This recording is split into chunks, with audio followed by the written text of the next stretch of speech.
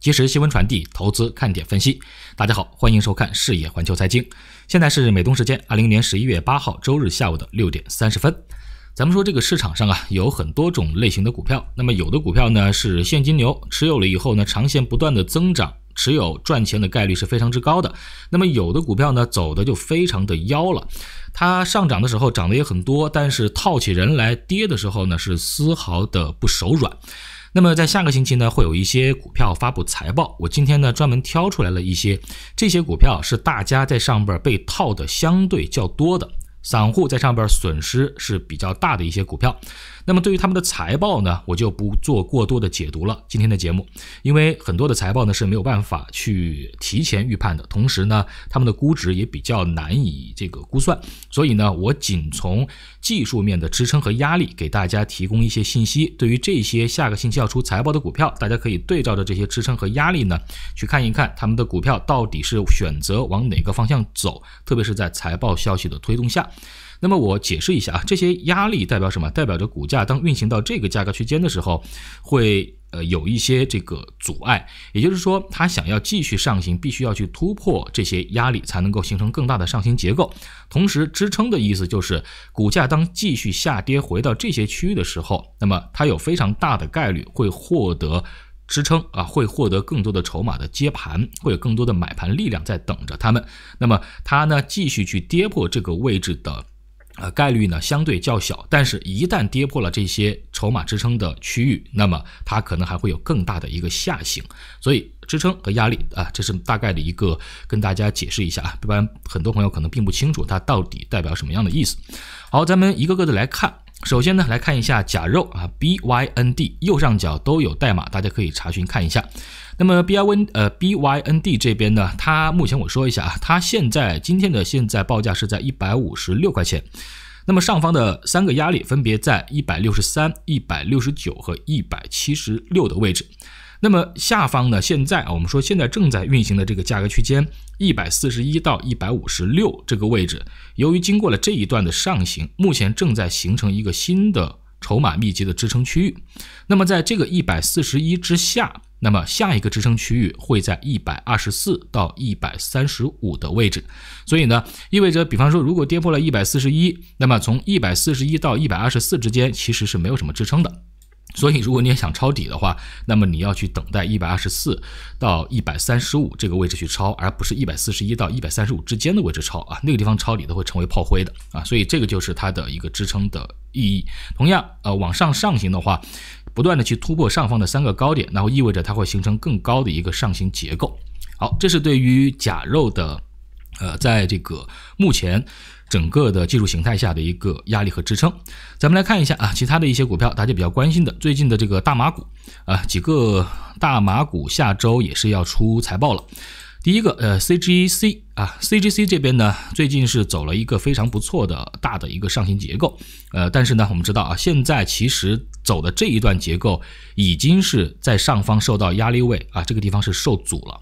那么 CGC 的压力上方是在二十四到二十六啊，意味着呢，如果突破了二十六美金这个位置，它还有更多的这个上行空间。但是如果过不去，那么这个地方会成为一个短期的一个头部位置。同样，它的支撑呢，就相对来讲。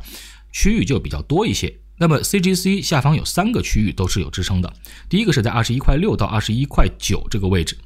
那么现在的市价是二十三块五。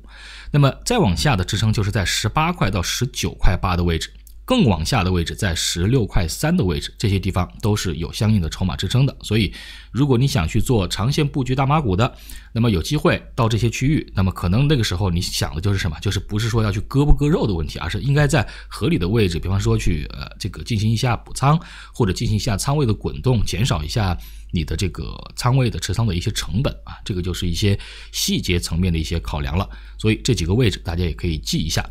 另外一只大马股，我们看一下。ACB 极光大麻，极光大麻的状况呢，其实就比 CGC 要稍微的呃差一些啊，因为最近其实就是在过去的一个星期里边，才是受到了消息的刺激，走了一个上行。但是目前呢，它的压力也很近很近了，现在的报价是包报在了九块七毛九的位置，那么上方的压力实际上就是十块到十二块三这个位置，这个位置呢，一个是筹码压力，第二个是中间要横穿去刺破一下两百日的。这个均线，同时呢，在十二块三上方呢还会有一个筹码的一个高点，所以它的压力在十块到十二块三。那么它的支撑在什么位置呢？它的支撑在六块二到八块一，这是第一个位置。然后更低的位置就是四块五到五块了啊，那个地方就相当于现在的价格是往下腰斩一次的位置，那个都是更低的位置了。咱们说支撑和压力都是突破了一个，再说下一个啊。所以现在的第一个支撑是在六块二到八块一的位置，其实就是这个在跳空高开的缺口位置。那这个缺口呢，实际上是形成了一个。突破缺口的啊，从缺口的知识来讲是一个突破缺口，所以如果你的买点是在这个突破缺口当时开盘的位置直接进场去买的话，你已经吃到这个利润了啊。这个其实关于突破缺口的问题，在会员的视频里是教过这个知识的。如果你运用上了，那么你这笔这个短线至少啊，你赚到的这个钱，你肯定是多少能够赚上这个几个点的。好，呃，那么这是第一个啊，这个两个大马股，然后还有一个再来看一下西方石油 OXY。西方石油呢，套人也套的比较多，但是最近整个的油股其实都差不多。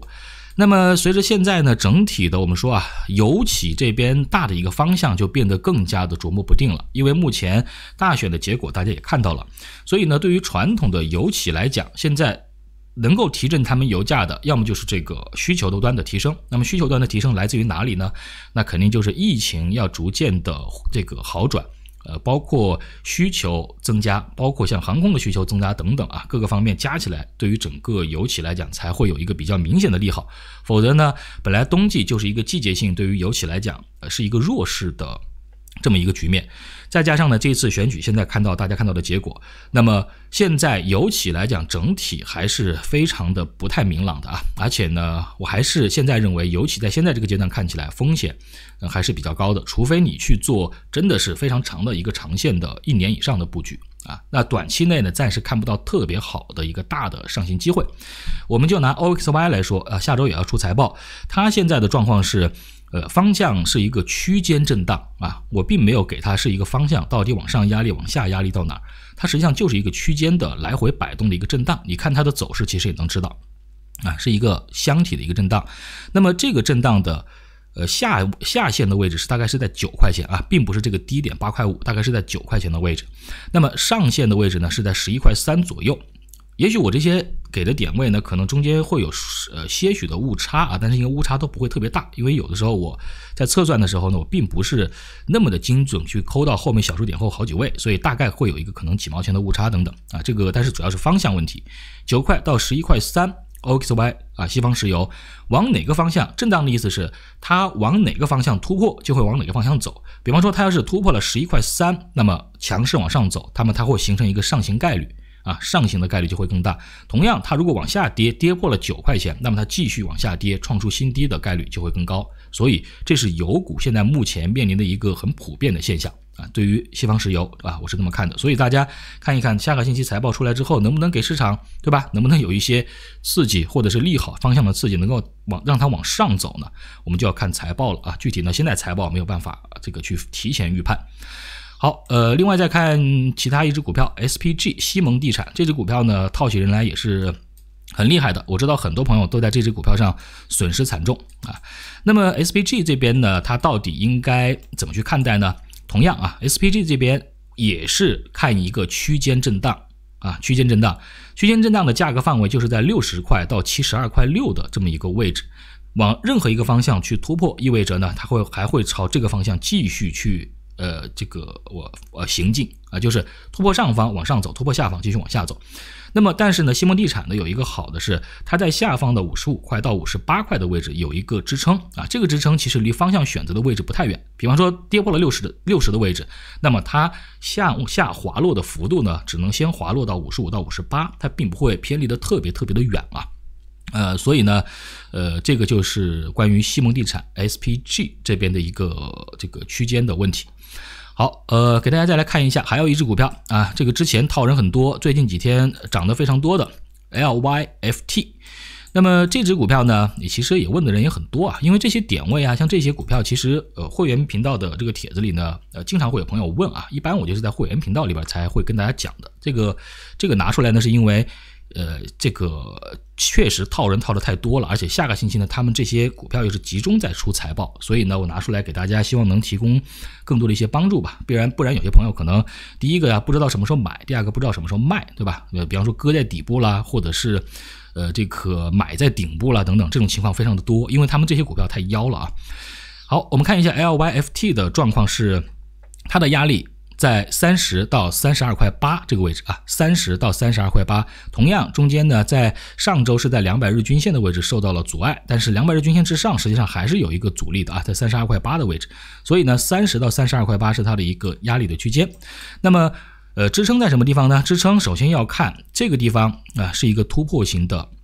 啊，一个平台的小的一个突破性的一个缺口啊，突破性的缺口，这个地方呢支撑要看这里，就是这个缺口位置二十六块六到二十七块九，暂时只看这么多啊，其他的往下先不看，因为。呃，老实讲，LYFT 往下的支撑非常的薄弱啊，非常非常的薄弱，所以呢，暂时先看这个跳空缺口能不能守得住，守得住的话，继续往上走，去突破三十到三十二块八，那么它就走的就会比较的强势了。但现在并不清楚啊，我只能给出这个压力区间，大家后面跟着呃局势来一边走一边看。好，呃，还有一只股票啊，也是这个属于套人界的这个呃这个什么呢前十名了吧，应该算是。DKNG 啊，DKNG 这边大家看一下，呃，DKNG 这边呢，目前的压力上方在四十七、五十和五十一三个位置，那么区间震荡啊，现在说实话，呃，上方这个位置呢是突破了上沿之后的要去走的一个压力区间，但现在还是在走一个区间震荡，大的上行结构还没有形成，嗯，所以呢，目前的区间震荡是三十到四十五这个范围。所以，呃，你就知道了。OK，突破四十五，那么下一个压力就要面临的是四十七、五十和五十一。如果跌破了三十三，那么下方呢就要去继续寻底了啊，那可能就就跌的就比较的多了。呃，所以呢，我们来看一下，呃，在这种情况下，呃，到底有没有一些这种呃，怎么说呢？就是说这种股票啊，大家通常都会呃去猜它的底啊，就是说跌了很多之后呢，会猜啊是不是止跌了，是不是到底了，然后就会去。盲目的抄底，其实像这种区间震荡的股票，你比方说我给出来的这个价格，它都已经是在三十三块钱。你看它是它这个区间震荡的范围啊，是比这个低的。而且你看它的这个价格走势就知道，它如果破了前方的这个低点之后啊，实际上下方呃有可能就会往更早的大概就二十头去走了啊。所以风险其实。挺高的啊，挺高的，像这种股票，所以呢，希望大家还是要谨慎吧，啊，不要随便的去抄底啊，看到这个震荡区间突破之后，不要随便的去抄底，而且像这种股票要做好及时的止损计划，因为太多的筹码在上面被套住了，好吗？好，我们再来看另外一个关于呃 RKT 的这个这个啊，RKT 这边呢也是套人套的挺狠的哈，这个。我也我也其实我知道，像这种这种非常热门的股票啊，就是之前口碑特别热的股票，大家之前一上市呢抢的特别多，然后报了比较高的一个期望值，而且本身呢它就是在十八块钱的一个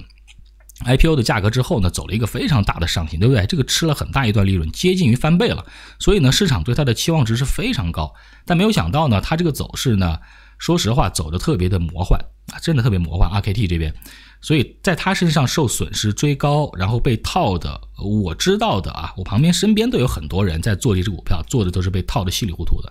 所以给大家讲一下，压力是在二十二块七到二十四块钱，现在呢离得不是特别的远啊，现在是报价报在了二十一块三这个位置。